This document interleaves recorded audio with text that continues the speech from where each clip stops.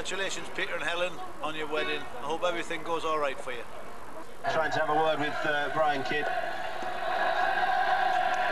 Oh, no, it's the assistant referee. That must be time, is it, Ian? Uh, three, three minutes we're up at the four. The Leeds fans are celebrating. Well, Rio Ferdinand was, has been immense. David Batty has been so effective as he has ever since he returned against Sunderland Leeds in just December scored. at Elland Road. It's 2 0 After to a Leeds against year on the sidelines, Lee today. But everybody around him, and it's good to have Danny Mills, you know, to have people like that. There you go. What a result that is. Final Steve whistle. Signals. Well, as you can see, I'm at uh, Leeds United Football Club, uh, Elland Road. Um, just about to play Deportivo La Coruña in the uh, quarter-final of the Champions League.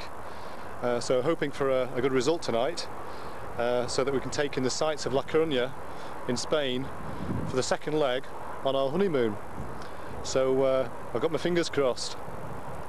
Side the left, Harte sends in the perfect cross.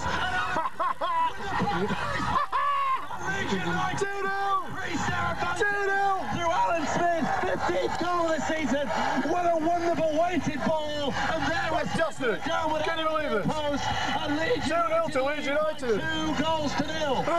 Ian Harte to take a corner on that far side to left, the left foot and a way swinger. It comes towards Rio Ferdinand.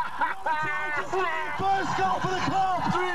3-0. What a fantastic goal. Years ago, the What a fantastic man he is. Tivo, 3-0. Fantastic. What a fantastic performance. Can you believe it? We were virtually through. We were fantastic. The fans were fantastic. Leeds United, fantastic. 3-0. Brilliant. Can you believe it? We can win this. Norman says we can win it. I believe it. We can win it. We can definitely win it. But uh, If Norman says we can win it, we can definitely win it.